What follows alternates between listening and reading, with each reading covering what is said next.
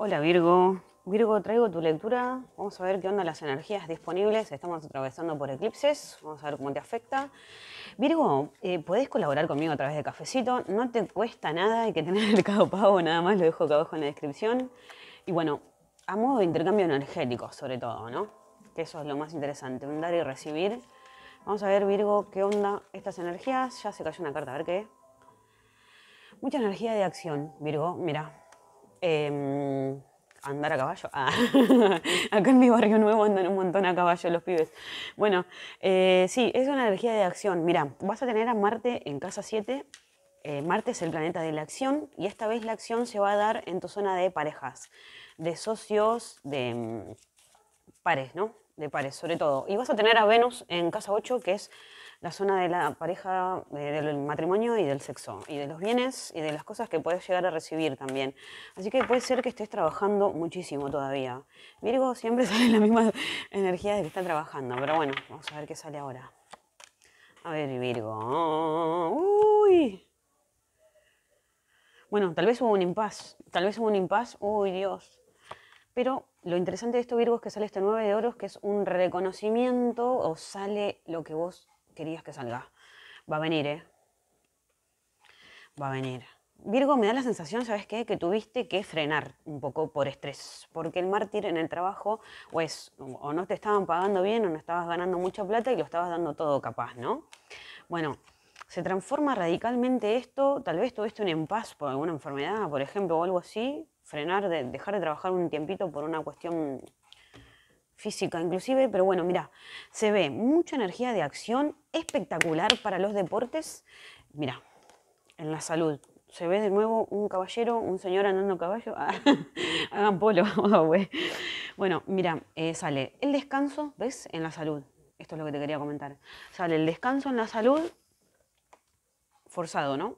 Y después un arrancar, ir con todo y alejarse de lo que hace mal o de el exceso de ambición. Me da esta sensación, como que decir, bueno, tengo que ver las cosas de otra manera, ¿no? Como que no me estrese. Tal vez, em, Virgo, si tenés ganas de ir a algún lado a comprar cosas, bueno, está Mercurio retrógrado, no es lo mejor comprar nada, ¿no? Pero sí está como esta energía de moverse hacia lugares cercanos. Mercurio va a estar en tu casa 10, entonces vas a estar reevaluando tus metas profesionales, tu carrera, tu trabajo. Por ahí dejaste algo, dejaste de darlo todo tanto. Y bueno, vas a empezar a, em, ya te digo, este 9 de oros es tener reconocimiento, tal vez dedicarte 100% a cierto proyecto que vos veas que realmente te va a dar este resultado. Porque veo, Virgo, que no lo estabas obteniendo mucho, ¿no? Vas a encontrar la meta práctica para que las cosas empiecen a suceder em, mejor. Virgo, te quiero comentar, esta lectura la hice como tres veces ya. me pasaba de todo, se me cortaba la luz, se me salía el teléfono, se me rompía la cama.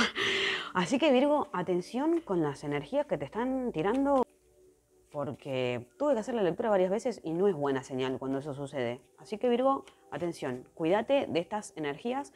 Las energías malas pueden venir por trabajo, ¿eh?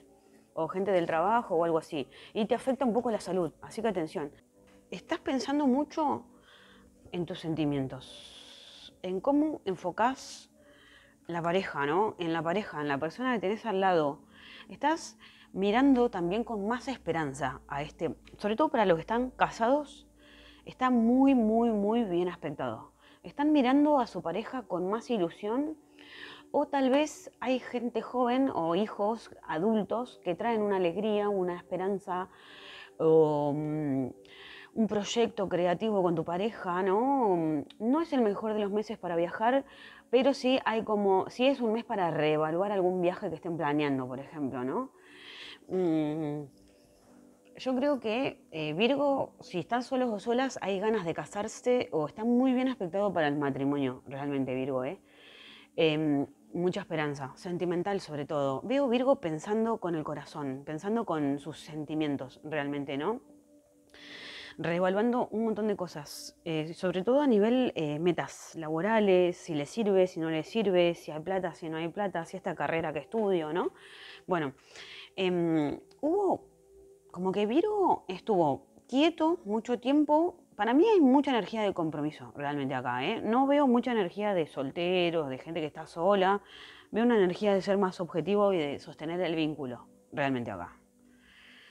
Pero para lo para la. A ver, Virginiana, si estás en pareja, mujer que vive con energía femenina, hay como un soltarse el pelo em, y ser más sensible, más sensible, más sentimental, o tal vez modificar el tema de las emociones también, ¿no? Como que tal vez Virgo, mujer, a veces tiene un poco de inestabilidad emocional y necesita ya, o si vos tuviste energía femenina en este momento, hay como una mujer que se sosega un poco más, ¿no? Si sos virginiano, estás con una mujer, esta mujer se sosega un poco más, sosega más sus emociones no está mal ser emocional, pero sí está mal eh, eh, ser solamente emocional y no poner en la balanza las emociones para que sean más eh, prácticas, ¿no? Hay como una especie de empezar a poner en la balanza realmente la pasión. es un muy buen mes para ponerse apasionado. Tal vez si sos virginiano, estás preguntando por una mujer, esta mujer se pone más sensible y más apasionada e intensa, está muy bien aspectado para ponerle pimienta a las relaciones. Em, hay una mujer que se hace medio de la loquita acá, ¿eh? y ve a un hombre como pensando, meditando, pensando, meditando, a ver cómo si nos comunicamos de otra manera, a ver si, cómo, ¿no? Hubo como una especie de querer separarse, pero no, también eh, buscar ayuda, una ayuda que tal vez no es muy bien recibida, pero a la vez hay como una especie de levantar el autoestima. Eh, veo una necesidad masculina de ayuda y veo una mujer que se libera como dando esperanzas, ¿no? O como, a ver, hay un tema acá. ¿Qué decirte, Virgo? Vamos a aclarar a ver con este tarotcito. Veo como una relación que se enfrió y que tal vez hay que poner objetividad. Una, veo energía masculina acá, que está pensando mucho y veo energía femenina enloqueciendo un poco por esto, pero veo el hombre como que quiere ponerle esperanza, ¿no? En la mente de Virgo, es como que si Virgo está pensando mucho en sus emociones, en que si le sirve, si no le sirve, tal vez hay una persona masculina acá que está pensando en varias personas, varias mujeres. A ver qué sale Virgo. Virgo sale constancia, alegría y amor. ¡Ay, Virgo! ¿Cuándo se casan, Virgo? invitada, reflexiones y desconcierto. Bueno, tal cual, tal cual, tal cual.